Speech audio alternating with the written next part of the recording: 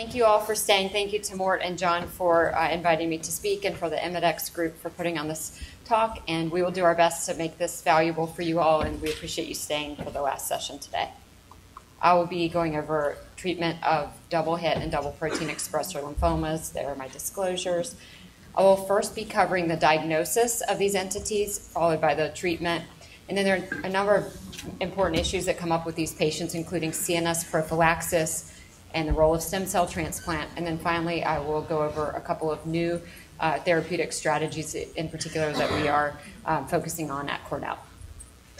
The WHO classification of lymphoid neoplasms in 2016 included three distinct groups. Um, one was DLBCL NOS, and this was the first time that the germinal center and then ABC, activated B cell or non germinal center types, were broken into two different descriptions under that category, as well as the co expression of MYC and BCL2 proteins as double protein lymphomas, double expressor lymphomas, um, as a prognostic marker, which I'll address in just a bit. And then a new category was made called high-grade B-cell lymphoma with MYC and BCL2 and or BCL6 translocations, and that is what we call double hit lymphoma. Very wordy title, so double hit has stuck with that. And then another category called high-grade B-cell lymphoma NOS. The double and triple hit lymphomas are defined by chromosomal translocations involving MYC, BCL2, and or BCL6 uh, D, the double hits are most commonly MYC and BCL2 rearranged, with about 60 to 80 percent of cases uh, that fall into that category, and then a smaller percentage, about 10 to 20 percent, are MYC and BCL6 rearranged. Triple hit lymphomas have all three rearranged and make up the rest of the uh, proportion of those uh, that fall in that category.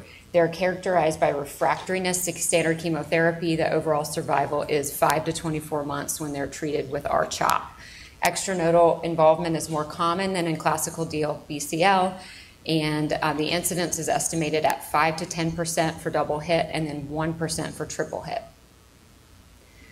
Double protein expressor lymphomas are characterized by the expression of, of MYC and BCL2 by immunohistochemistry without the gene rearrangements. And the typical cutoffs that are used are greater than or equal to 40% uh, for MYC and then 50% for BCL2. It is, of course, more common than the double hits. Uh, one large study showed that about a third of patients with DLBCL had uh, had a double protein expression, and it's an indicator of a less favorable prognosis than standard DLBCL, but it is not a separate category in the WHO 2016, as I just showed.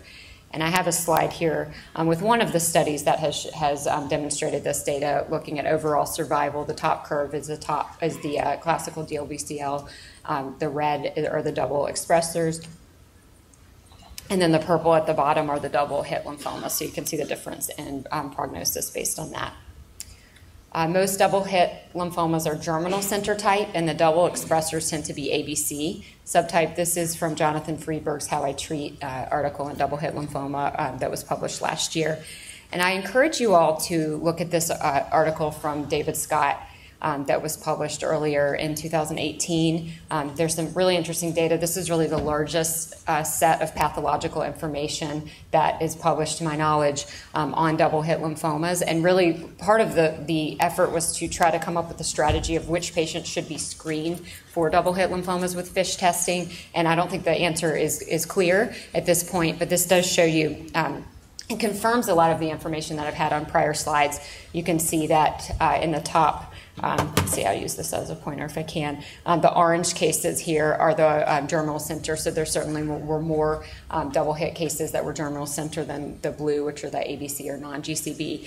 And then interestingly, um, so they looked at 1,200 cases, and about 12% of them had MYC rearrangement. So at the bottom here, you can see um, the MYC positive and then MYC BCL2 positive, and then this is um, gene rearrangements, MYC BCL6 rearrangements, and then MYC BCL2 and BCL6. So you can see certainly that the germinal center for double traditional double hit, the MYC BCL2 rearranged, and then the triple hits or germinal center. There are some um, of the MYC BCL6 rearranged that are ABC subtype. Um, and I actually had a patient with that pretty recently. Uh, so the big picture is that certainly if someone has germinal center type and the double expression of MYC and BCL2, you should definitely be checking uh, for the FISH uh, testing in those patients. And I would say also if you see MYC and BCL6 positive in a uh, in an ABC patient, that you really should think about doing that too. This is data on RCHOP versus R-EPOCH uh, in all DLBCL newly diagnosed Alliance 503 study, which was presented by Nancy Bartlett a couple of years ago at ASH. And I think we're, we're expecting um, manuscript relatively soon in that. And um, this showed the overall response rates and uh, CR rates very similar between the RCHOP and dose-adjusted EPOCH-R regimens. So for most patients, the RCHOP regimen remains standard in newly diagnosed DLBCL patients. You can see these um, event-free and overall survival curves at the bottom. Um, however, knowing um, that the uh, double hit patients often do very poorly and that this study really did not have enough uh, likely patients with double hit to be able to draw conclusions based on some retrospective data, we are recommending uh, and it really is the standard of care um, to be giving dose adjusted EPOCH R in double hit and triple hit patients. Oh, um, this is a slide courtesy of John Leonard, actually, which um, shows um, the RCHOP versus dose-adjusted EPOCH-R regimens, which I believe this audience knows well. And the double expressor lymphomas, I want to make the point, um, still should be treated with RCHOP times six. Um, there is really insufficient data to support a more aggressive regimen in those patients, uh, but the double hit and triple hit should be treated with dose-adjusted EPOCH-R, as I list here and I will go through a couple of studies. Uh, there were two retrospective studies, and there are a few others as well. These are the largest ones. Um, the top uh, two figures here correspond to a study by uh, Petrich, um, which looked at about 300 patients with double hit uh, and triple hit lymphomas, looking at different regimens. This, again, was retrospective, uh, multi center, um, and you can see at the uh, bottom of this um, RCHOP, Hyper-CVAD, dose adjusted EPOCH-R, Codox M, or IVAC, and some other regimens. And the highest CR rates were seen um, with dose adjusted EPOCH-R. And then if you look at the progression free survival of all of the intense regimens, compared to RCHOP, the patients who had received one of the more intense um, did have a higher progression free survival compared to RCHOP. At the bottom are some curves from the MD Anderson data set. This did include some double expressors, um, but primarily double hit and um, triple hit patients, and that they looked at similar regimens. Again, retrospective study, a little bit smaller than the other. Um, the dose adjusted EPOCH-R is in blue, and you can see the EFS and overall survival were uh, better compared to all the other regimens. So it's primarily based on this retrospective data and a, and a few other studies, of also small, um, that form the basis of us uh, using this regimen for this disease, which again tends to be uh, less responsive than uh, the classical DLBCL. I want to touch on CNS relapse. So I did mention to you that extranodal involvement is more common um, in double hit lymphomas in particular compared to classical DLBCL.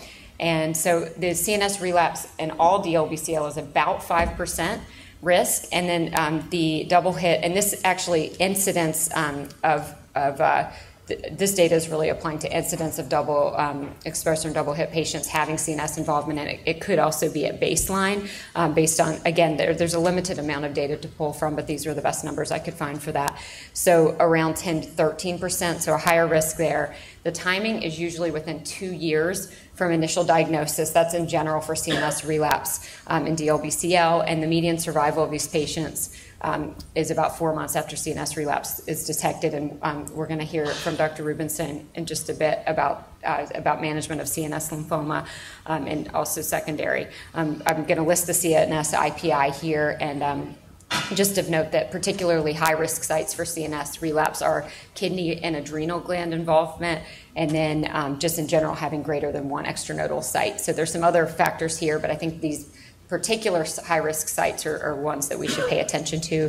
I've also listed some of them at the bottom testes, breast, paranasal sinuses, the paraspinal area, and then the bone marrow.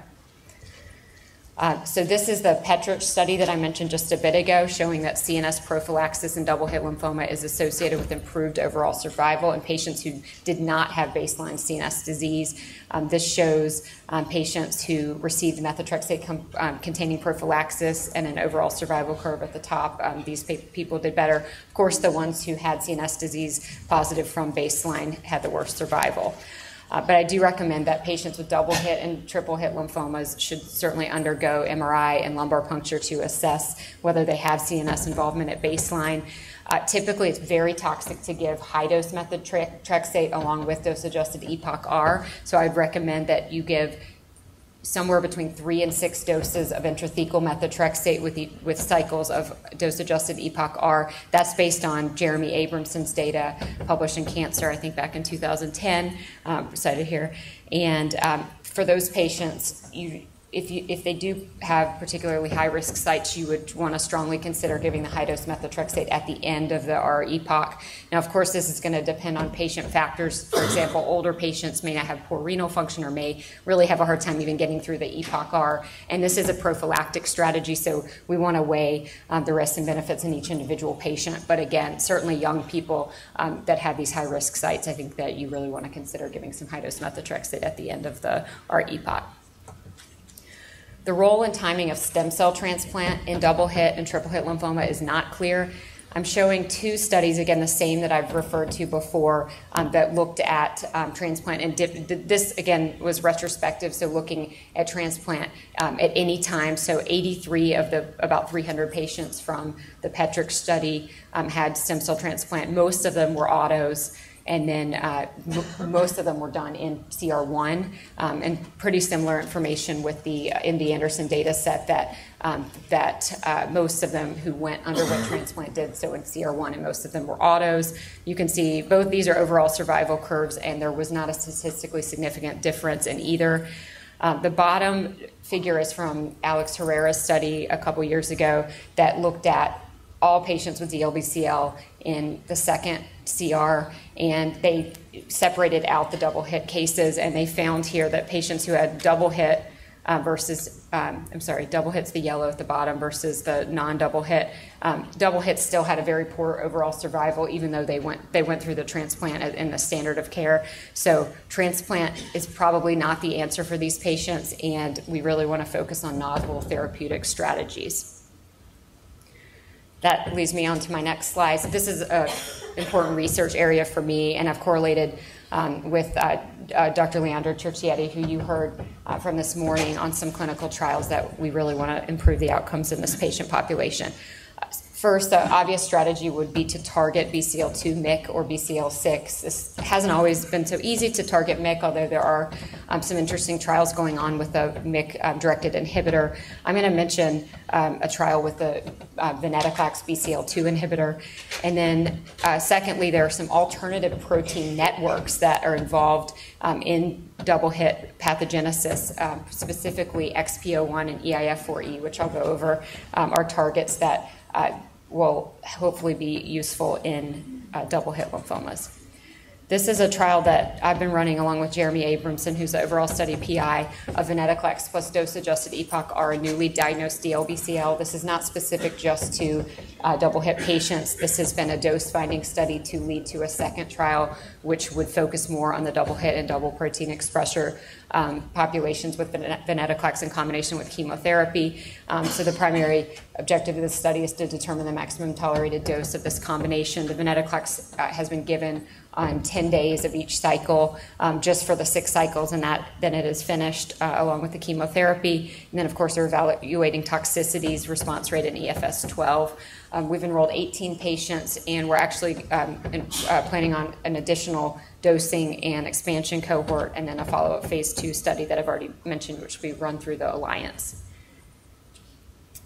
The target I want to talk about next is exportin 1, and this is a, a, major nuclear export protein of tumor suppressor proteins and oncogenic mRNAs, MYC, BCL2, and BCL6.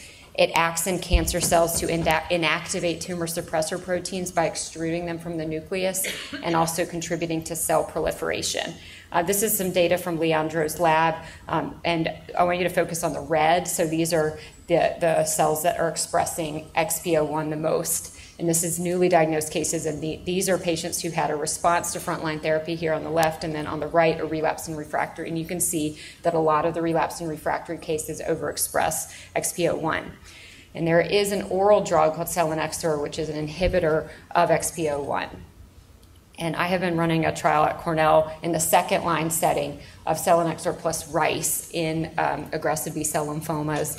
Um, this is also a dose finding study.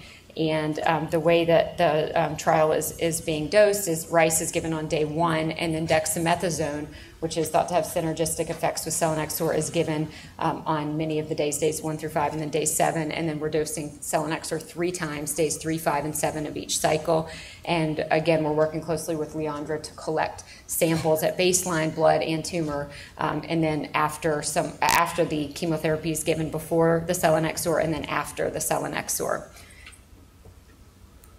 And the last target that I wanted to discuss is called the eukaryotic translation initiation factor 4E or EIF4E. And this actually works uh, on the same mRNAs that I've mentioned, which are obviously relevant to my discussion, MYC-BCL2 and BCL6. This acts in two different places. It acts in the cytoplasm, which it helps to uh, export the mRNAs from the nucleus to the cytoplasm. And then in the cytoplasm, it helps to translate these mRNAs into protein. And interestingly, let's see if I can get these here. Um, EIF4E is overexpressed in double and triple and hit lymphomas. So again, the red here, um, we know that um, that double and triple hit lymphomas are making up a pretty small proportion, but of of the the patients that were um, done, that some correlative studies were done in Leandro's lab, um, there were a number of them um, that overexpressed the EIF4E that were double and triple hit.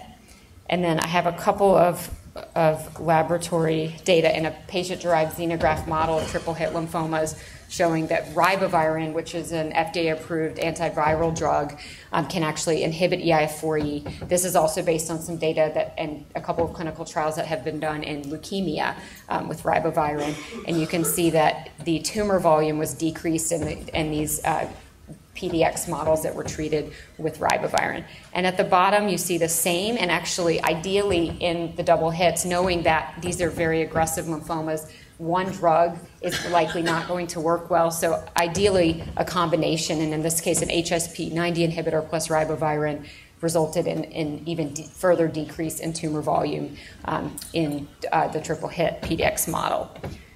Uh, and I believe actually, Let's see, I'm going to go back one slide if I can.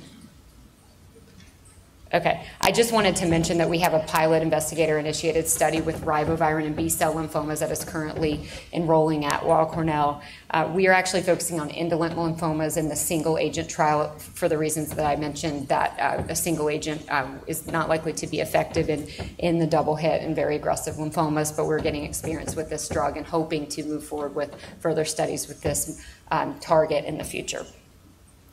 And I will conclude with a treatment summary. For double and triple hit lymphomas, uh, the treatment of uh, we would recommend would be dose adjusted EPOCH-R times six. For double protein expressors would be R-CHOP times six. For those with high risk sites for CNS relapse, IT methotrexate during the dose adjusted EPOCH-R and consider high dose methotrexate after completion. And again, you really want to be looking for the, the CNS involvement in these patients. Uh, because they tend to have a higher incidence than in the, the uh, general patient population with DLBCL. And then stem cell transplant, at this point, is in, there's insufficient evidence to support doing that in CR1. And I know there were, there were um, very good talks this morning about CAR T cells, so that would be the type of approach that we may consider in, in, these patients. And in general, enrolling them on clinical trials with novel agents from any point, just like Jonathan said um, just a bit ago with mantle cell, I feel strongly about the double hit patients um, that really is advantageous for them to go on clinical trials at any point in their course to give them the best chance of, of uh, good outcomes. Thank you all for your attention, and I'll have time for a couple questions.